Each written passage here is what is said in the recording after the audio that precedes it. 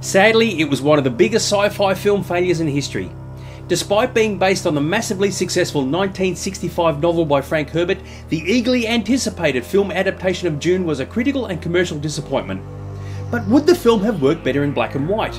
Now, why would that be a consideration? Because that was how it was originally intended to be. The question is, would it have worked? Well, let's find out together. This is Sci in 5. The desire for Dune to be adapted for the big screen has been well documented over the decades. From the aborted attempt by Alejandro Jodorowsky in the 1970s through to the version we finally saw in the mid 80s. Dune has always had a troubled cinematic history mainly due to its vast scope. But the 1984 version was particularly difficult due to the constant and ongoing conflicts between the producer, Raffaella de Laurentiis, and visionary director David Lynch. For her part, De Laurentiis was keen to make a typical mainstream Hollywood film, intended for those audiences who were already savouring the massively popular 1980s sci-fi movie craze, whilst Lynch, being an auteur, was looking at creating something more in line with his individual and artistic tastes.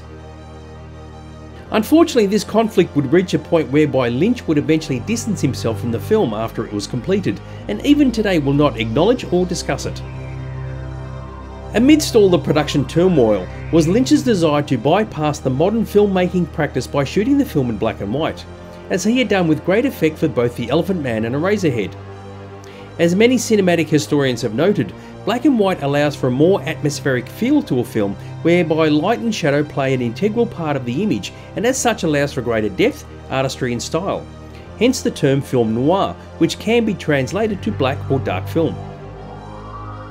As to be expected, Lynch's plan to film Dune in black and white was immediately overturned by De Laurentiis, who was concerned it would alienate a large portion of the movie-going, colour-loving public. As it turned out, the film, despite being shot in colour, intentionally uses mostly dull, dark and drab tones, including a lot of black, while splashes of colour appear sparingly, which actually supports the oppressive universe the film is set in.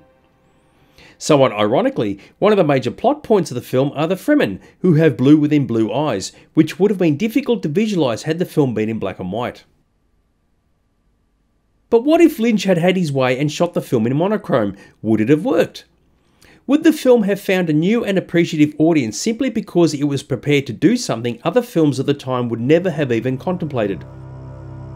Moreover, would the audience have been more forgiving of the complex and difficult story, knowing that what they were watching was not just another Hollywood movie, but instead a serious art piece featuring a complicated and well crafted narrative?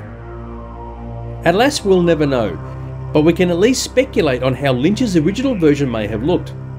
So what we've done is taken some sample shots from the film and added a black and white filter to them. Though keep in mind, actual black and white movies were specifically crafted for that format, both in lighting design and costume colour, which clearly isn't a factor here. However, simply adding a black and white filter to the footage is not enough to achieve any notable results.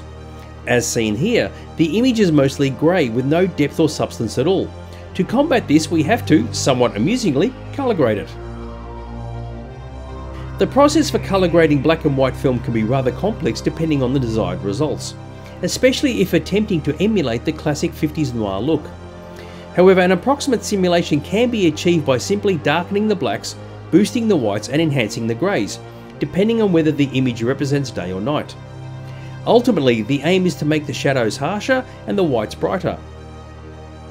If done well, the final result will not only feature far more depth, but it will be pleasing to the eye due to the varying contrasts.